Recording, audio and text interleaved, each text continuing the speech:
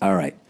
Um, okay, Native American preference. All right, we got people here chiming in, chiming in, chiming in. Um, all right.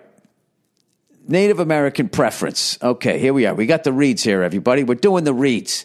Native American preference. Hey, Billy, little boy blue. I'm commenting on the last podcast about Native Americans versus Indians. Yeah, I was saying every uh, Native American I ever met, I haven't met a lot. They all say, you know, I'd rather be just called an Indian. Uh, as an actual card carrying, quote, Native American, I think Indian is still the preferable term. In fact, it's in our tribal name. I'm probably going to say this wrong. The Seneca Nation of Indians. And an informal survey of my res still pretty much prefers the Indian term.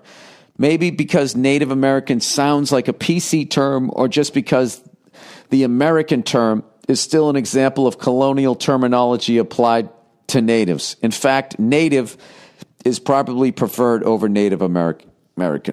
I got the hiccups, sorry. So there you go.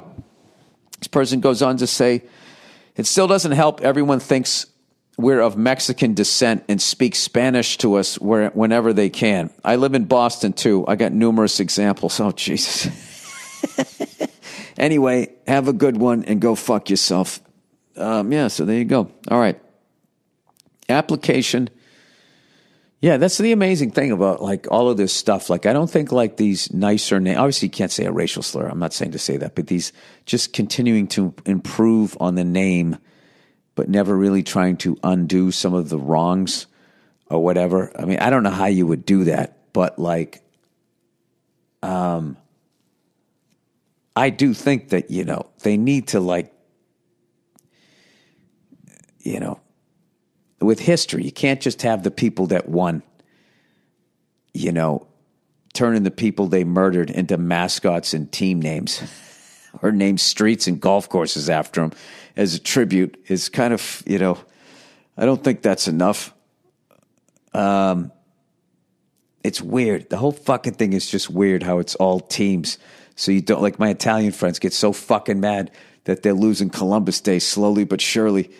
And they're all like, fuck that. He never did that shit. That's bullshit. He never. it's like, dude, who, who the fuck knows what happened? Nobody's saying you did it. You know?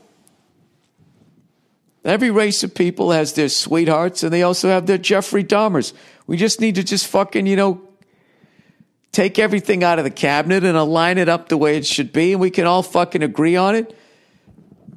I don't know. I, don't, I just don't understand, like, uh, at this point, what the problem is. Okay, Native American preference. Uh, okay, I just read that one. Uh, Appalachian